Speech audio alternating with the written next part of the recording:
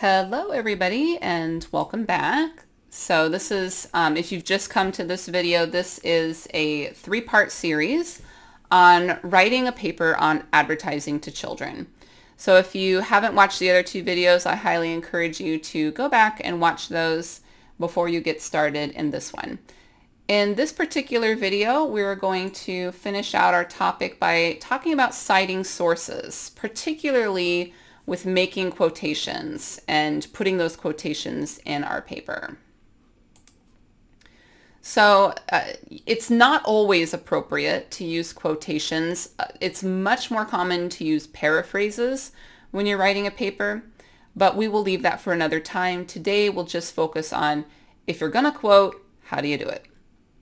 So um, we, when we use quotations, we do so when the language is the very powerful or it's too specific to paraphrase. Yeah, you, you um, quote for sources that you're reading directly. You do not quote ideas that a source takes from another quote. So that's the point I'm trying to make. Um, if you're reading something and they they tell you about research from somewhere else, don't quote that. Go to that source directly and then paraphrase or quote. All right, so how do you use quotations? There are a few things that you need. You need the author or the authors and the publication year. You need to use quotation marks so we know that these are the exact words that they said. You need a page number and of course the exact words as they are written in the source. Okay. Um, I will mention at this point that there is if you need to change the words um, like a pronoun so that the sentence flows better, um, you use brackets. We'll leave that for another time. Today I'll just focus on put them in quotation marks and have it ex read exactly the same. But do know that if you need to change like a little pronoun um, so that the sentence makes sense altogether, you use brackets. You can look that up later um, if that's something that you're going to do. So we call this language of attribution. And it's a way that we give credit to the people who had the ideas, who published the research. Okay. So here is, here are two ways that we might see quotations being used. We might have according to, author or authors, then the year, comma, then the quotation and a page number. And just notice here where the comma is and the period goes outside of the page number. It does not go here. Okay. Same here. If we want to open and with the sentence with the authors and we want to make them the subject, so here they'd be the subject, then we need a verb we need to have a reporting verb, and I'll talk about what that means. We need to have a reporting verb, then comes our comma, then our quotation, page number, period there. Okay. So here are a couple examples that show you how this looks. So this was that source that I mentioned in our first video. And I've mentioned the author's last names. Then I have the year of the publication. And then this whole part is my quote. And then I have a page number and my period here. Um, oops, sorry. Notice that there's my comma right there. And same thing here, maybe instead of according to, I want to use the authors as the subject. So they're the subject. Then I have my reporting verb. I have a comma. Oh, sorry, I keep doing that. And then um, my quotation, my page number, and my period goes there. All right, so reporting verbs. Uh, when you have a sentence like this one, where your authors are the subject, you need to have a reporting verb. And, sorry, that keeps going off. That's so we go. Okay. You need to have different reporting verbs. So depending on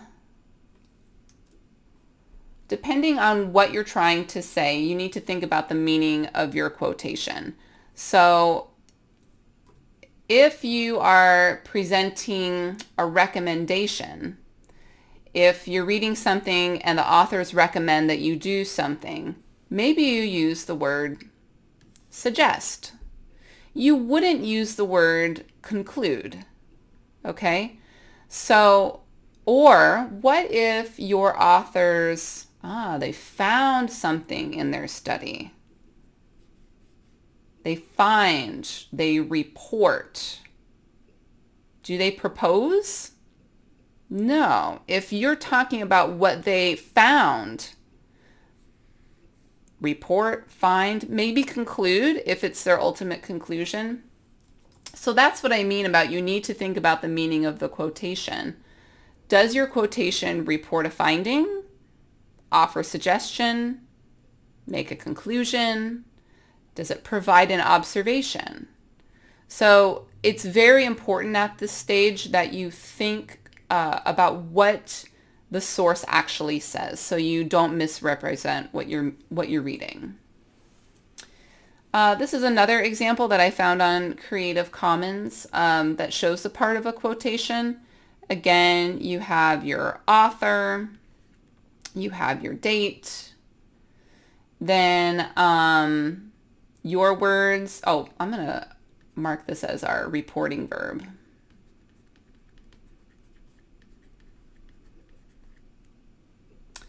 Um, this part here,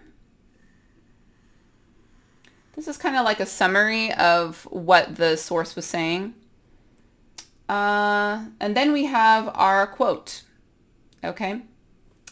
And we have our page number there our period here and no period here. All right, so those uh, these are called uh, in-text citations. They are, and in-text citations can be quotations, they can be paraphrases, they can be summaries, uh, but the point is that they all happen within your paper. At the end of your paper, you have something called a reference page or a works cited page. So if you're writing uh, APA documentation style, you're going to have references. That's what your page will have at the top. If you're using MLA, you're going to have something called works cited. So which documentation style? This is a part where you look at your writing assignment sheet and see what your teacher has uh, specified on your writing assignment. Um, typically, if you're in education or psychology or sciences, medicine, nursing, uh, these these disciplines typically use APA. I did APA because I was in education. The humanities, and that includes like English, religion, philosophy, classics, they typically use MLA. Um, and then Chicago is often used by business, history, and fine arts. Uh, and each of them has a little bit different way of doing it. Chicago's a lot different than the way MLA and APA work. Uh, but so what I'm going to focus on is APA. Um, engineering I find funny. I every now and then I ask an engineer, hey, what documentation style do you use? And they're like, uh, you know, kind of what anyone, whatever anyone feels like or whatever the journal feels like doing. Um, I asked my husband and he says, yeah, I mean, it's really, it depends on the publisher. So there's not one particular style that engineers say we all use this style. All right, so formatting uh, for a reference page, what does it look like? Uh, this particular image comes from Creative Commons. I think it's a pretty good one that shows a references page. So first thing to note here, this is the page number of the paper. So wow, this is a 17 page paper and you thought you had a lot to write. Uh, and then up here is a short um, abbreviated title of the work. This, it, you will always have the word references at the top and it's centered. It's not bold. It's not underlined. Okay. And then you have your sources here, not with a one, not with a two, and they're alphabetized. That's how we know the order. They're alphabetized. It's not the order that they appear in the paper either. That's Chicago. Chicago does that. But APA uses the, the alpha, by alphabetizing the last name of the author is the order that the references show up. So all of the sources on this paper appeared in the uh, in-text citations. Any in-text citation needs to be on this reference list, okay? So our margins here, these are probably one inch. And notice that this line is out and this line is in. And that is called a hanging indent. Okay, if you're not sure how to do that, go to YouTube, put in how to make a hanging indent. It'll show you. I guarantee you someone's made a video about that. Um, our spacing, we have double spaced. Okay. If you are doing this in Word, you just highlight the whole text and press Control 2 and it'll double space everything. That's a 2. That's not a Z. now that I look at it, it looks like a Z, but that's a 2. And what else? I think that's it. Um, I do have a website for you to go to that will tell you exactly how to organize each of these or how to um, put the information into each reference here. So I'm just going to point out you have the author's name, the year, the this is a book, it's a title of a book, the place of publication, and the publisher.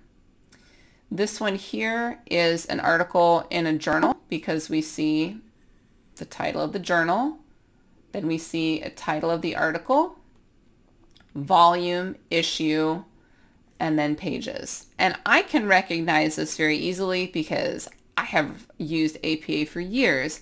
I do not expect you to be able to look at that and know what, what all of those words and numbers mean, which is why you have awesome websites like Purdue's Online Writing Lab. This is a phenomenal resource. Um, I am also going to include this, uh, this link and uh, links to other videos um, to watch in the description of this video. And this particular source, let's just go there now for just a moment so you can see it.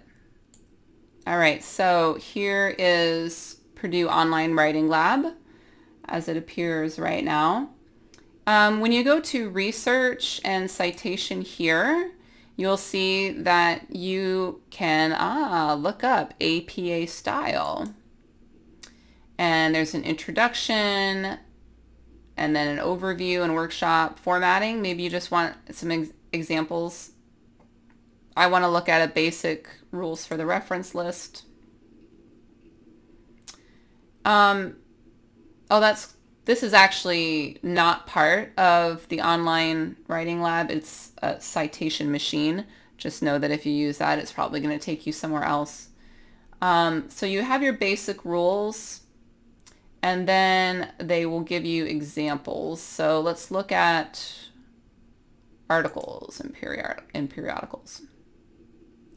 So there's your um, basic example right here.